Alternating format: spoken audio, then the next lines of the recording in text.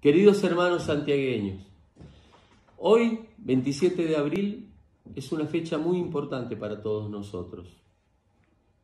Se cumplen 200 años de aquella fundamental decisión de autodeterminarnos como pueblo. Para nosotros hoy es muy importante valorar las figuras de Borges y de Ibarra y a todos los que en estos dos siglos nos trajeron hasta aquí.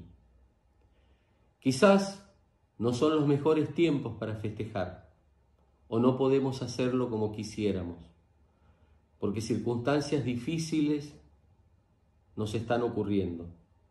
Pero es importante que podamos festejar en nuestros corazones y levantar la mirada hacia ese futuro, hacia ese horizonte, hacia esa nueva autonomía que nos merecemos, con una provincia más desarrollada, que cumpla metas en lo económico y en lo social, que genere posibilidades para todos.